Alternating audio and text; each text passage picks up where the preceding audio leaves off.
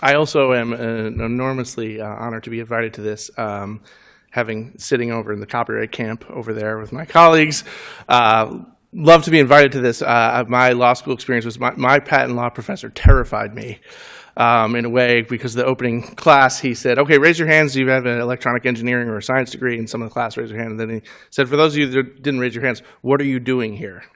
Um, so that set the tone for a good class. Um, so thus I became a copyright scholar. Uh, so. I'm talking about it from a view from cultural institutions. By cultural institutions, I mean the libraries, the archives, uh, the museums. I just thought I'd give a, an alternate perspective here and offer some, some fun stuff. First of all, here's my my premise, and I think everyone here can agree with this in some way, but it's critical to have legal open use exemptions for any field of IP. So it doesn't matter if we're talking trademark, uh, uh, copyright, or other, uh, maybe not trade secrets, but we'll get into that in a little bit. Um, but the idea is that this is the driving motivator of a lot of innovation and research here, um, not only at our universities, but outside of universities as well. So if we start with that premise, then we can move forward, I think, and think about, well, how can this affect the topic that we're talking about today? Let's talk about some of these. So, research uses, the land that I live in as copyright advisor for Harvard Libraries, is that these nonprofit, non consumptive, preservation based actions that we do here at the libraries, here at museums, uh, here at our archives, um, are critical to this idea that, look, we need to push the mission of the universities. And I, I, like that the former speaker had put up the missions of the particular offices, but the missions of the university are usually share with the public in some capacity. But the university of library, the university libraries sometimes are the holders of forever. So we also want to gain access to these materials in ways that future scholars, future researchers, future innovators can have this.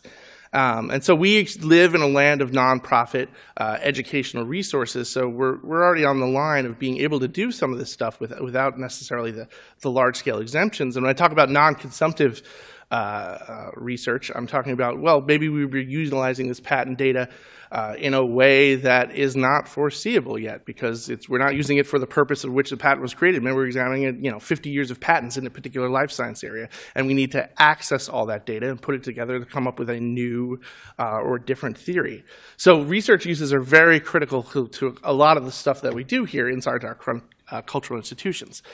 And I would add specific, just to line up in the copyright field, areas that I live in and breathe in frequently, is that we have some of these limited liability exceptions that exist.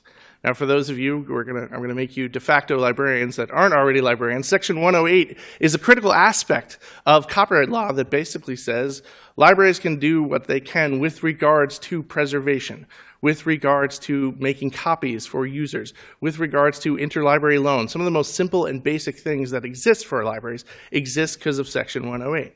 Now, I always like to say there is no preservation without access. So if we're saving these data, and one of the most fascinating details of a, a lecture before is that, well, about 50% of these patents go forward. What about that other 50% that don't go forward? Um, and we'll talk a little bit about that. I want to get at them and, and, and, and study them and see why and put them in a repository and do research on them and not necessarily implicate any rights in doing that. Uh, Section 109 is also how libraries exist, it's the first sale doctrine. The exhaustion doctrine is what they usually call it internationally, the concept that well, the rights holder cannot downstream uh, uh, pressure us to do anything else. Once you buy a book, put it on a shelf, you can loan it a thousand times. Um, once you digitize that book, though, make it an ebook, sometimes we fall under licensing provisions that prevent us from doing that. And I see this correlation with patents a lot with that.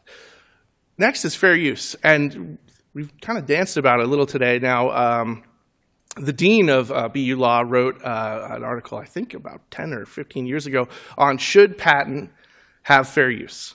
Um, and I, I, I, was in school at the time. I said, yes, obviously. Um, but that concept is, is that fair use is another fundamental notion that researchers can get access to stuff, notwithstanding the rights that already exist by the holder. And I think this exists in the patent realm in a way that could also exist successfully, I would say, uh, in the realm of copyright. And then for those of you that don't, if you guys know 504c2, I'd be very impressed.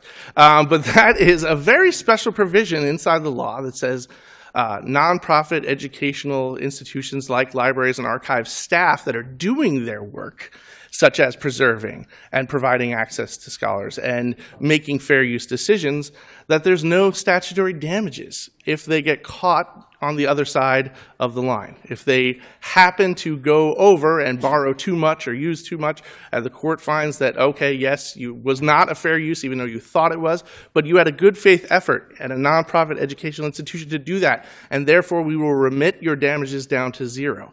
These protections that exist all together in some way, uh, I think, uh, bespoke the idea that Congress and people at the time period cared enough about the research that was going on in these nonprofit libraries and institutions to provide us with these tools. When I go around and lecture about this, I call this the superpowers of libraries, in that we have a limited liability package, if you will um, that exists in copyright law. So how can we apply that package, I think, um, to the patent field? And I think that's, that's a tough sell because, as we've pointed out, and as my colleagues just pointed out, uh, the concept here is that, yeah, they live in very different worlds with regard to marketability, with regards to outreach, with regards to control. There is no fair use. There is no concept of this. But let's just think, though, could we have the discovery of transformative uses for patents that are above and beyond the routine licensing and markets that currently exist? You know, when I think about patents, I think about, oh, licensing and markets.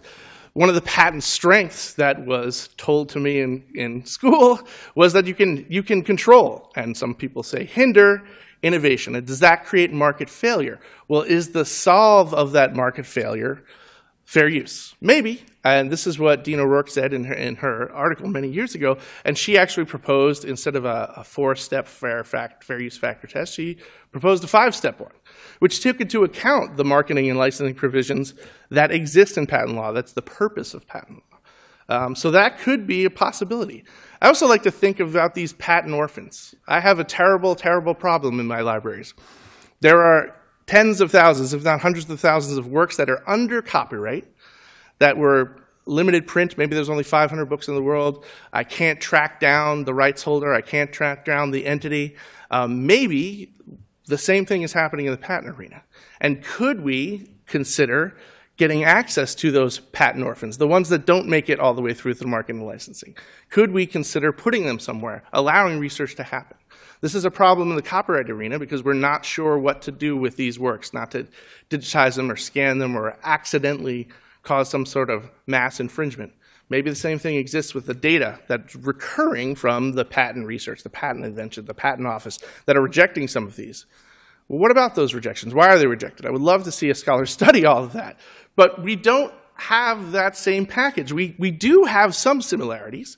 Um, for those of you that remember the MGM versus Grokster case, they borrowed the notion of inducement uh, from patent law to crack down in one way or another on the, the Grokster that's were sharing MP3s online. So if you're inducing, if you're using technology to induce someone to commit copyright infringement, and they, they clearly borrowed that from patent inducement. However, we don't have the same limiting doctrines equivalent to research, preservation, and fair use exceptions.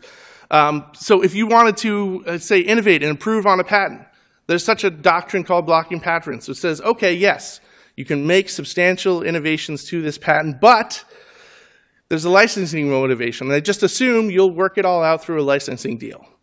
This looks so much like transformative fair use to me, in that you're using something for a different purpose than the original, and that you're using the amount necessary to serve that purpose.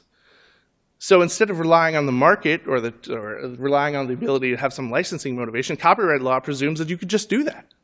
You can do that under transformative fair use. So maybe there is room here for us to exist in that world where you know the doctrine of blocking patents, just as example, and there's a lot of other examples in here, uh, could be adaptable to that fair use standard. Now, Peter's in the room, and I can't not mention open access, of course, but what if we exposed, and we talked about open licensing, we talked about open access a little bit, but you know, non-exclusive license transfers, which is not always the domain of patents. There are some non-exclusive but the patent likes exclusivity. But what if we expose that earlier? And we talk about increasing the usefulness of patent research because we could create greater audiences, we could create greater visibility, we can create greater readership amongst other people in other fields that necessarily wouldn't see these patents because they're not necessarily in the pharma field or other fields. Open access gives us that ability mm -hmm. to say, all right, we're going to reproduce these results with new and different uh, uh, scientific queries. Please, one minute. All right. So the idea is that if we allow that to exist as a whole, then maybe that's my alarm reminding me of one minute. That's funny. Um, maybe we could do that. Maybe we could actually apply open access standards to this in a way that we hadn't yet foreseen yet. I found that the pledge, the anti-patent assertion entity pledge, seemed very analogous to the open access pledge that many universities have done. That idea that, yes, I will give you uh, a, a non-exclusive license to my article before it hits print, and maybe even I pledge I won't pub- publish in a journal that doesn't have CC BY or green open access. Maybe that's very similar to what's going on with these with these uh, with anti-patent assertion entities. So that was your crash course in librarian law, and that's what I bring to you today. So thanks very much.